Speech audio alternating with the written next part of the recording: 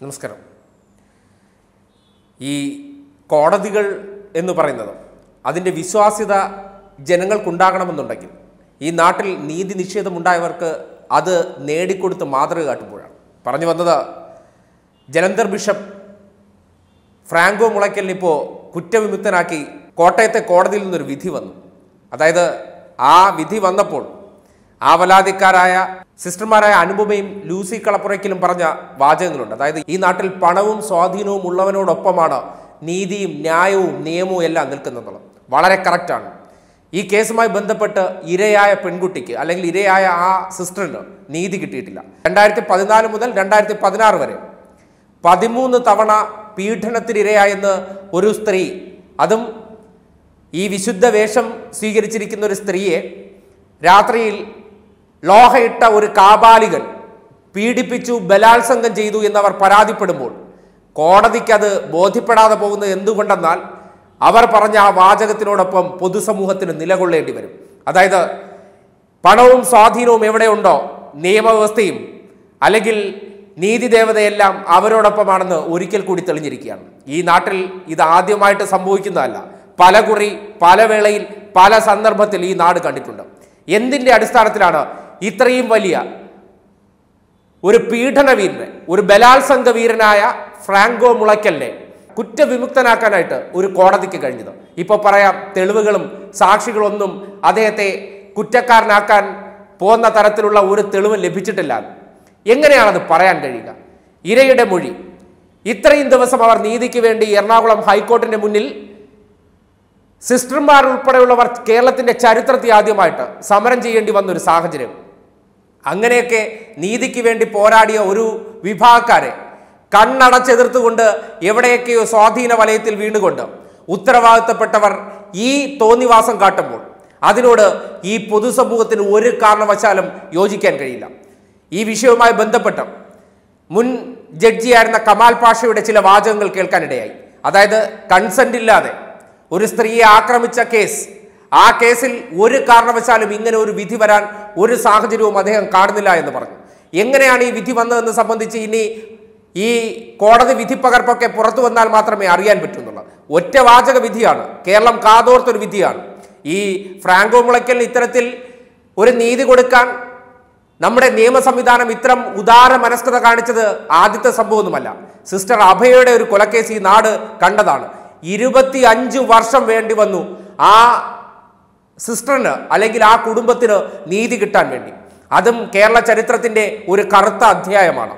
അതേപോലെ ഈ ഫ്രാങ്കോ മുളയ്ക്കലിനെ പോലെ ഒരു ബലാത്സംഗ വീരനെ പൊതുസമൂഹം ആ പേരിൽ തന്നെ പറയും.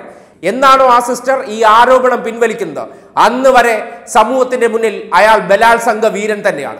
ലോഹയിട്ട കാബാലികൻ തന്നെയാണ്. ആ രീതിയിൽ തന്നെ അയാളെ വിശേഷിപ്പിക്കുന്നത്. ഇത്രമാത്രം ക്രൂരത ഒരു സ്ത്രീ നേരിട്ടതിന്റെ പേരിൽ അവരുടെ പ്രതികരണം മാധ്യമങ്ങൾക്ക് മുന്നിൽ ഇന്ന് കണ്ടപ്പോൾ അവർ കണ്ണീരണിയുന്നതും സങ്കടപ്പെടുന്നതും നീതി ദേവത പോലും അവർക്ക് മുന്നിൽ കണ്ണടച്ചത് കണ്ടിട്ട് അവർ ഒറ്റപ്പെടുന്നതിന്റെ വേദനയുമാണ് ഈ നാട് കണ്ടത്. എത്രയെത്ര സംഭവങ്ങൾ പുറത്തു വന്നതാണ്. ഈ ആരോപണം ഉന്നയിച്ചതിന്റെ പേരിൽ ആ സിസ്റ്ററിന്റെ സഹോദരനെ കള്ളക്കേസിൽ കൊടുക്കാൻ പോയി. പിന്നെ സഭ ഒന്നടങ്കം ഇതിൽ നിന്ന് അവരെ പിന്തിരിപ്പിക്കാൻ വേണ്ടി പലതവണ ശ്രമം നടത്തി. അതും പിതാക്കന്മാർ നേരിട്ടിറങ്ങിയതാണ്. കത്തോലിക്ക സഭ പോലൊരു സഭയ്ക്ക് ഇതിനേക്കാൾ വലിയ നാണക്കേട് ഈ സമൂഹത്തിൽ എന്തിനാണ് വരാനിരിക്കുന്നത്? അതായത് വേട്ടക്കാരനൊപ്പം നിലകൊണ്ടിട്ട് ഈ സമൂഹത്തിൽ പല കാര്യങ്ങളിലും അഭിപ്രായ പ്രകടനം നടത്താൻ വേണ്ടി ഈ ലോഹയിട്ട ടീംസ് ഇറങ്ങുന്നുണ്ട്. ഇത് ആദ്യത്തെ സംഭവമൊന്നുമല്ല. നിങ്ങൾക്ക് എന്ത് യോഗ്യതയാണുള്ളത് ഈ നാട്ടിലെ വിശ്വാസ സമൂഹത്തെ നേരായ വഴിയിൽ കൂടി നടത്തിക്കുന്നു എന്ന് പറയാനായിട്ടുള്ള എന്ത് അവകാശമാണുള്ളത്? ഒരു തോന്നിവാസം കാട്ടിയ ഒരു ബിഷപ്പിനെ ഒരു സ്ത്രീയെ അവളുടെ അനുമതിയില്ലാതെ കടന്നാക്രമിച്ച അല്ലെങ്കിൽ ബലാത്സംഗം ചെയ്ത ഒരു വ്യക്തിയെ ഇപ്പോഴും നിങ്ങൾ സംരക്ഷിക്കുക അവരെ സ്വാധീന വലവ് ഉപയോഗിച്ച് നിങ്ങൾ രക്ഷപ്പെടുത്തി എടുത്തതിന് ശേഷം ഇപ്പോൾ മധുരം വിളമ്പിയും പാട്ടുപാടിയൊക്കെ അങ്ങ് അർമാദിക്കുകയാണ് ഇതുകൊണ്ടൊന്നും രക്ഷപ്പെട്ടെന്നൊന്നും കരുതണ്ട. ഈ കേസ് അന്വേഷിച്ച ഹരിശങ്കർ ഐ ഒരു വാചകം പറഞ്ഞിട്ടുണ്ട്. ഞെട്ടിപ്പിച്ചു കളഞ്ഞു എന്നുള്ളതാണ്. ശരിയാണ്. കേരളത്തിന്റെ പൊതുസമൂഹത്തെ മുഴുവൻ ഞെട്ടിപ്പിച്ച വിധിയാണിത്. ഇങ്ങനെയാണെങ്കിൽ ഈ നാട്ടിൽ ബലാത്സംഗത്തിനിരയായ സ്വാധീന വലയമുള്ളവരെയൊക്കെ എങ്ങനെയാണ് ശിക്ഷിക്കപ്പെടുന്നത്? ഈ ഗോവിന്ദചാമിക്കൊക്കെ ഈ നാട്ടിൽ കുറച്ചെങ്കിലും സ്വാധീനം ഉണ്ടായിരുന്നെങ്കിൽ അയാളും പുഷ്പം പോലെ നിയമവ്യവസ്ഥയ്ക്ക് മുന്നിൽ നിന്ന് ഇറങ്ങിപ്പോകുമെന്ന് പറയാൻ പറ്റുന്ന തക്കത്തിലുള്ള ഒരു ഉദാഹരണമായി ഇത് മാറുകയാണ്. ഇത്തരം നെറുകേടുകൾ അത് ഏത് ഭാഗത്തു നിന്നുണ്ടായാലും അത് കോടതി ആയിക്കോട്ടെ ഏത് സംവിധാനത്തിന്റെ ഭാഗത്തു നിന്നുണ്ടായാലും അതിനെ പൊതുസമൂഹം കർശനമായി വിമർശിക്കുന്ന സന്ദർഭം ഇന്നത്തെ നാട്ടിലുണ്ട്. ആരും വിമർശനത്തിന് അതീതരൊന്നുമല്ല.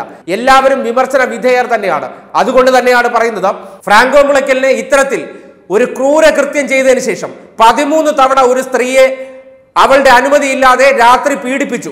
ആ പരാതി പറയാൻ വൈകിയതിന്റെ പേരിൽ അയാളെ വെള്ളപൂശാൻ ശ്രമിക്കുകയാണെങ്കിൽ അല്ലെങ്കിൽ അയാളെ കുറ്റവിമുക്തനാക്കാൻ ശ്രമിക്കുകയാണെങ്കിൽ അത് ഒരു പക്ഷേ കുറച്ച് ആൾക്കാർക്ക് മാത്രമേ അതുകൊണ്ട് സ്വീകാര്യത ഉണ്ടാവൂ പൊതു സമൂഹത്തിന്റെ മനസാക്ഷിയിൽ ഫ്രാങ്കോ മുളയ്ക്കൽ ഒരു ബലാത്സംഗ വീരനാണ്. ഹീന കുറ്റകൃത്യം ചെയ്ത ഒരു വ്യക്തിയാണ്. അയാൾക്ക് ഈ സമൂഹത്തിന്റെ മുന്നിൽ ഈ വിശുദ്ധ ലോഹ അണിഞ്ഞുകൊണ്ട് വിശ്വാസികൾക്ക് മുന്നിൽ ഒരു പവിത്രനായ വ്യക്തിയായിട്ട് ഒരു കാലത്തും നിലകൊള്ളാൻ കഴിയില്ല. അങ്ങനെ വെള്ളപൂശി നിർത്താമെന്ന് കത്തോലിക്ക സഭാ നേതാക്കന്മാർ കരുതുന്നുണ്ടെങ്കിൽ അത് നിങ്ങൾക്ക് തെറ്റിദ്ധാരണ മാത്രമാണ് അത് നിങ്ങൾക്ക് ബോധ്യപ്പെടാൻ വരുന്ന സാഹചര്യം ഉണ്ടാകുകയാണ് ഇവിടുത്തെ നിയമവ്യവസ്ഥയ്ക്ക് ഇത്രമാത്രം വിശ്വാസ്യതയുള്ളൂ എന്ന് ചോദ്യം ചെയ്യപ്പെടുന്ന ഈ സന്ദർഭത്തിൽ അപ്പീലിലൂടെയെങ്കിലും ഈ വിധി റദ്ദാക്കപ്പെട്ട് അയാൾ ജയിലഴിക്കുള്ളിലേക്ക് പോകുന്ന ഒരു സാഹചര്യം ഉണ്ടാകേണ്ടത് കേരളത്തിന്റെ പൊതു മനസാക്ഷിയുടെ ആവശ്യമാണെന്ന് പറഞ്ഞു വയ്ക്കുകയാണ്.